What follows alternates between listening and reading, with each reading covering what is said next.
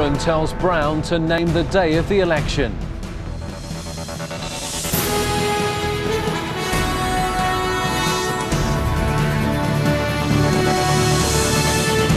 This is the ITV Morning News. Also on the programme this morning, no more questions for the McCanns. Portuguese police say they won't re-interview Madeleine's parents.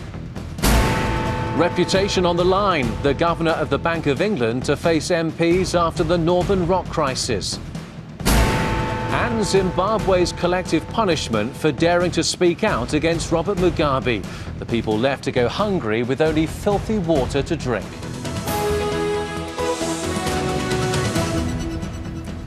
Once again, the streets of West London were packed with protesters today, campaigning against the Israeli military action in Gaza.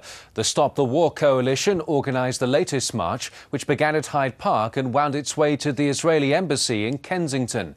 But the protests are proving a frustrating experience for local shopkeepers, who claim their customers are avoiding the area to keep away from the campaigners. Phil Bales went to Kensington High Street to see what they had to say.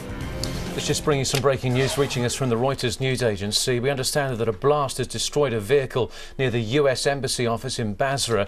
Uh, the only details we're getting so far are coming from witnesses at the scene that say two are dead.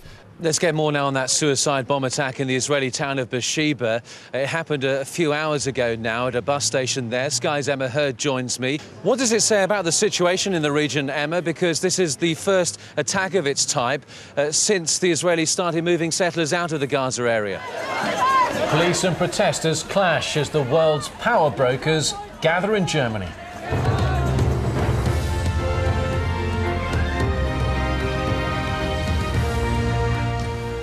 Leaders of eight of the world's wealthiest countries meet to talk tough on poverty, climate change and globalisation. But will political rows spoil the party? The aerial attack on Fallujah continued overnight, lighting up the sky as US Marines continued the hunt for extremists. The US and Iraqi forces are pushing even further into the centre of the city. The assault from the air preparing the way. Whether you're a lottery winner or just simply a dreamer like me, this has to be the ultimate boat at the show. It costs £5 million. Come on, let's see what you get for your money. Neither of you's virgins to uh, Sky Poker, by any account. It's my third visit. Uh, yeah. Uh, the first one was terrifying. What happened? The second one slightly. Well, I was just the whole online game I'm used to, but the open is something different, especially with a bounty on the head. This is the difficult bit, all right? Well, now, I better watch then. Yeah, this is the difficult bit. What you need to do is then cut the sponge in half. Right, okay. so this is the point where I've bought two flannels. Exactly. We're into day two, which gets underway in about an hour's time. And what England have to achieve here is to hold on to a good start to their first innings. Uh, they've got some key batsmen still that they have to rely on uh, to get a good enough total to worry Australia. Well, have they done enough on day one? Joining me now is the former England captain, Mike Gatting. Mike, uh, would you say honours even at this stage? Greg Norman is one of the most iconic figures in golf, but the Australian is now perhaps better known for his business interests than his stroke play. A lot of people speculating that the Beckhams will still be jetting all over the world. They'll be making frequent trips back to England. Do you see that happening? Oh, no. No, I don't think so. You, you have to get a clause in your contract for that. John, eh? I'm not sure if you're able to watch our pictures right now, but David Beckham's showing off some of his skills now in his number 23 shirt at the training ground. You can hear the screaming crowd in the background. Uh, he is such a popular character.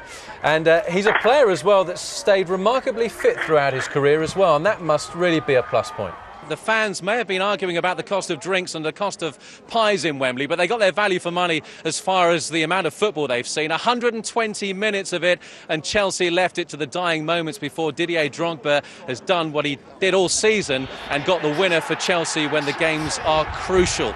Well, as life at Royal Birkdale returns to normal, life at Padraig Harrington just gets better and better. Back to back open wins and the chance of doing it all again at Turnberry next year. Steve Gaisford, Setanta Sports News at Royal Birkdale.